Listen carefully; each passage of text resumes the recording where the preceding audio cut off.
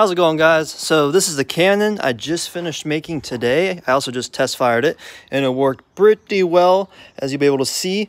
Um, it's just a piece of stainless steel here that I uh, attached to this big piece of billet steel that I machined.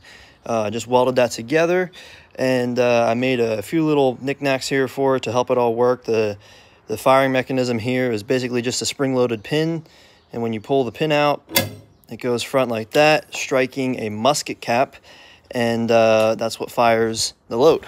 So pretty cool. Here's a little shot of me shooting it. I was aiming right there and I hit there. It went right through that, through the metal in the back. I was shooting at this, okay, it hit that. Did it go through? Yeah, I went through. Okay.